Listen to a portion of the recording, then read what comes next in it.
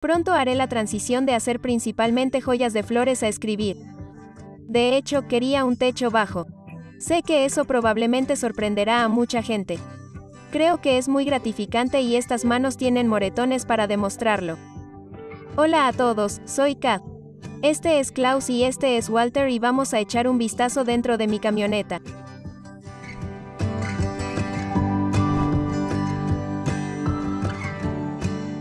Esta es mi Ford E250 de 2007. Elegí esta furgoneta por varias razones. El costo fue una de ellas. Otra razón es que, en realidad, quería un techo bajo. Sé que a mucha gente probablemente le sorprenderá eso, pero quería algo que fuera más fácil de estacionar en la ciudad. Antes de poner la caja en el techo, poder caber en estacionamientos y cosas así. Entonces me dio más opciones para estacionar cuando fui a las ciudades. No le hice muchas modificaciones en el exterior. Intento mantenerlo lo más incógnito posible, pero agregué este impulso que me ayuda a obtener una mejor cobertura de teléfono celular a veces. Agregué estas luces solares en el exterior que son sensores de movimiento. De esa manera, si saco a mi perro en medio de la noche, habrá algo de luz o si alguien se acerca al vehículo, o un oso, realmente los compré para osos.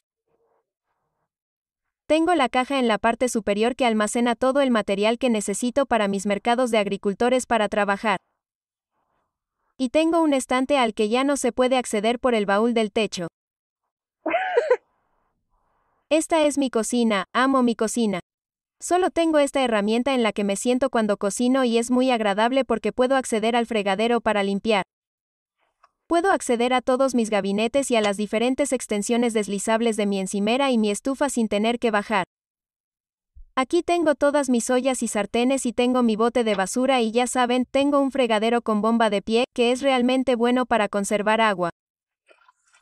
Llega a donde encontré alrededor de 5 galones de agua en 3 días y cocinas, limpias, te lavas la cara tanto como quieras y la usas incluso para beber 5 galones en 3 días. También tengo el cajón junto a mi armario que extiende el mostrador si necesito poner cosas y tengo una mesa aquí que extiende el mostrador y no puedes verla, pero hay otra extensión emergente del mostrador justo aquí. Por eso creo que es muy importante tener una estufa montada en el mostrador. Sabía que nunca querría tener una estufa delante para encender todos los días y preparar café. Y luego tengo un tanque de propano de 11 libras aquí abajo. Suele durar unos seis meses y cocino todos los días. Me encanta tener eso sobre las botellitas verdes. Entonces este es mi refrigerador, es un ARB, es solo un refrigerador. Si quisieras convertirlo en un congelador, creo que es una opción, pero solo puedes elegir entre una u otra. Amo mi refrigerador. El único inconveniente es que tiene como un desagüe en el fondo que drenaría incluso cuando estuviera tapado. Así que lo sellé permanentemente y luego suda por dentro y se convierte en un charco.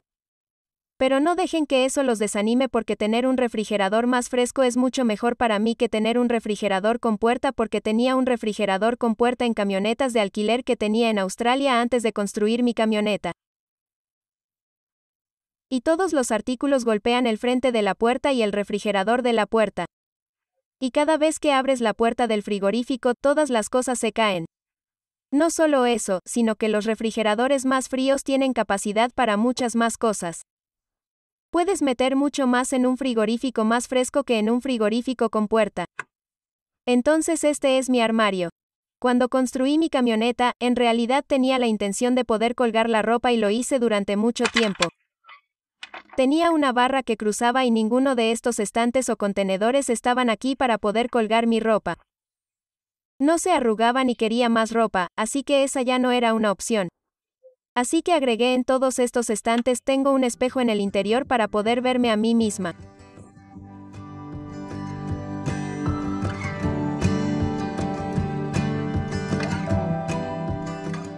De hecho, tuve la idea de vivir en una camioneta en 2017. Compré una casa rodante por tres días y la odié porque no quería una casa rodante. No quiero tener que lidiar con un tanque de aguas negras. Creo que son asquerosos. Y también quería algo que pudiera conducir en lugar de tener que tirar de algo. Creo que es mucho más manejable tener la casa unida al vehículo, pero eso no funcionó. Así que me mudé al extranjero durante tres años. No planeaba regresar a Norteamérica. Una razón fue porque estaba muy ansiosa. No tenía nada aquí. Así que en Australia decidí regresar a Norteamérica y construir una camioneta. De esa manera, cuando estuviera en Norteamérica, tendría un lugar donde vivir y algo para conducir. Pero sí, así fue como comencé a vivir en una camioneta. No sé si eso terminará algún día.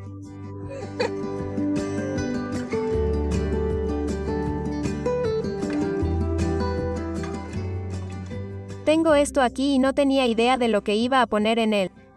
No sé por qué lo acabo de construir y estoy deslizando más almacenamiento, mejor, ¿verdad?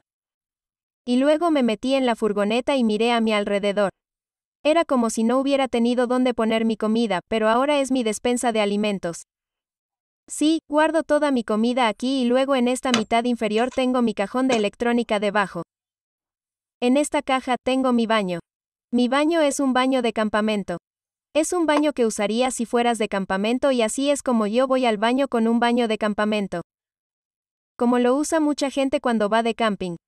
Entonces, como sea que vayas al baño cuando vas de campamento, así es como yo voy al baño todos los días. Entonces estos son mis gabinetes. Mucha gente que construye furgonetas construye sus armarios hasta donde se levantan así.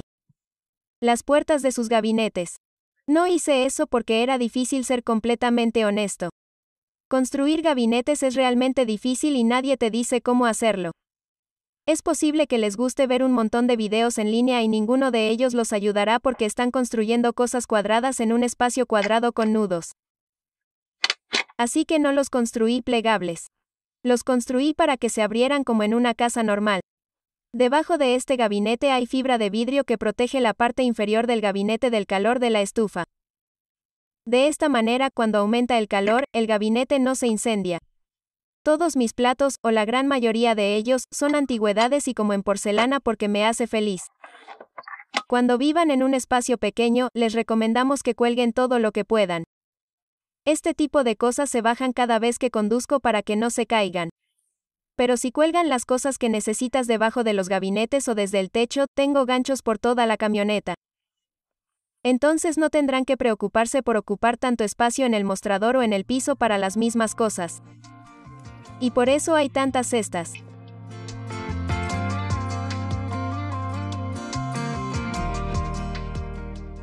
Consejos para cualquiera que quiera vivir la vida en furgoneta. Creo que es muy gratificante. Si es algo que les gustaría hacer a largo plazo, normalmente la mejor sugerencia que puedo darles a todos es construir su camioneta lo más minuciosamente posible. Si van a vivir en su camioneta a tiempo completo, en mi opinión, deberían construirla lo más parecida posible a una casa. Entonces, eso significa una estufa real, un lugar para usar el baño, una cama que no necesitas hacer y que les resulte lo más fácil posible vivir en la camioneta. Si van a tener una camioneta como algo tipo aventura de guerrero de fin de semana, construyanla lo más barato posible. De esa manera, podrán ahorrar todo su dinero para aventuras y podrán conservar solo las necesidades de las cosas que desean para viajar solo por unos días.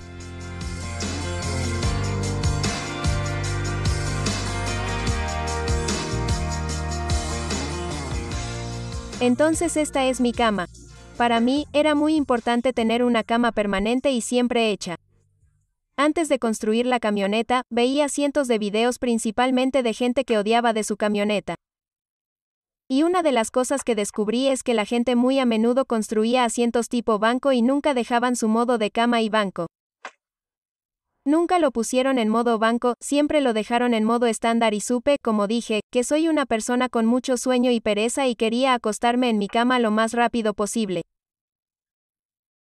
Así que me aseguré de que esta parte de la cama siempre tuviera todas mis sábanas encima, mis almohadas y todo listo para irme a dormir en cualquier momento. Y luego la opción de tenerlo más grande estaría ahí si alguna vez fuera necesario. Me encantan las antigüedades, por eso la mayor parte de mi camioneta está amueblada con antigüedades o arte local. Me encanta apoyar a los artistas locales y comprar cosas de los locales cuando voy a diferentes mercados y tiendas alrededor del país porque esa es la mejor manera de comprar cosas, apoyar a las pequeñas empresas o comprar algo que ya haya sido fabricado. Por lo tanto, no tenemos que crear ningún elemento nuevo ni tomar recursos del medio ambiente. Así que debajo de mi cama tengo este cajón aquí y este cajón tiene todos mis materiales de arte, ¿no es así? Es realmente agradable porque llega a un lugar donde puedo simplemente sentarme aquí, acostarme y trabajar y luego usar mi mesa y hacer cosas. Aquí tengo algunos de mis aparatos electrónicos. Olvidé que la mayoría de estas cosas son frías.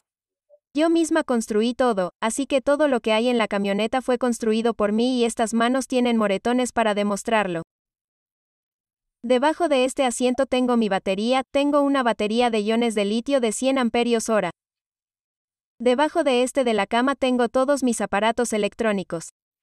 Entonces inversor de 1000 vatios. Tengo mi MPPT, tengo todos mis diferentes fusibles e interruptores. Tengo la capacidad de conectarme a la costa. Y luego, de este lado, tengo mi calentador diésel que acabo de reemplazar. Consejo para cualquiera que tenga o vaya a tener una furgoneta.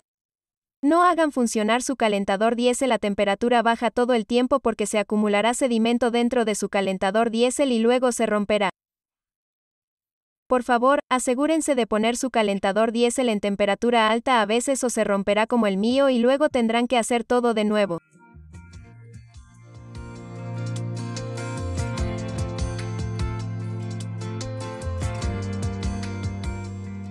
Me mudé a California y comencé a hacer joyas con flores reales y comencé a ir a mercados y a vender en mercados locales. Pronto haré la transición de hacer principalmente joyas de flores a escribir. Siempre quise ser escritora y, sinceramente, da mucho miedo compartir tus pensamientos internos y mostrárselos al mundo y esperar que no piensen que eres una tonta. Y escribo poesía o escribo cuentos.